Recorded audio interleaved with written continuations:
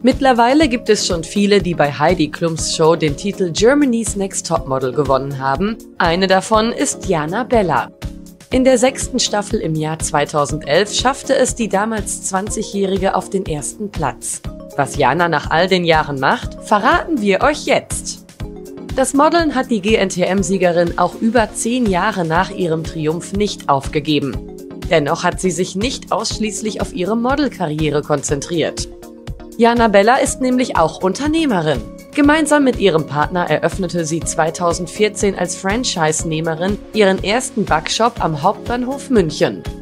Heute betreibt sie schon mehrere Backwerk-Filialen, unter anderem in München und Bochum. Anfangs stand sie sogar selbst in der Bäckerei.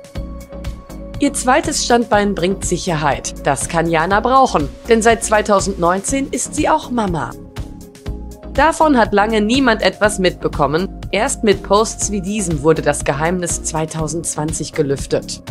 Wie schnell ihr Sohn wächst, kann sie kaum glauben. Auf Instagram schreibt sie im März 2020. Die Zeit vergeht so schnell. Es scheint, als wärst du gestern geboren. Und schon heute fängst du an zu laufen, zu sprechen, selbstständig zu sein. Über Instagram hält Jana ihre 10.600 Follower Stand März 2022 auf dem Laufenden.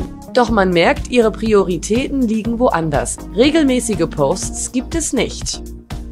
Das Mama-Dasein scheint eben an erster Stelle zu stehen. Während sie sich heute eher natürlich präsentiert, gab es früher öfter mal sexy Schnappschüsse von ihr. Hin und wieder zeigt sich das Model nämlich von seiner verführerischen Seite. Da wird sie von Fans schon mal als die bisher hübscheste Teilnehmerin aller GNTM-Staffeln bezeichnet. Trotz aller Aufgaben, die sie mittlerweile hat, möchte sie dem Model noch nicht den Rücken kehren. Sie teilt immer wieder Bilder von Fotoshootings. Dabei hat ihr Weg als Model etwas holprig begonnen. Jana hat zwar die sechste Staffel von Germany's Next Topmodel gewonnen, aber es kam dann alles anders als geplant.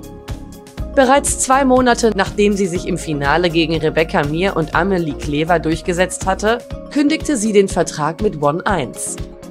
Zeitgleich kam sie aber schon bei einer anderen Agentur unter. Luisa Models engagierte sie damals. Eine internationale Karriere war das Ziel der GNTM-Gewinnerin. Für drei Jahre war das Modeln ihr Hauptberuf. Sie arbeitete für Marken wie Hugo Boss und Esprit. Heute ist sie als Unternehmerin tätig und hat die Modewelt zu ihrem Nebenberuf gemacht. Mit ihrer Entscheidung scheint Jana Bella glücklich zu sein.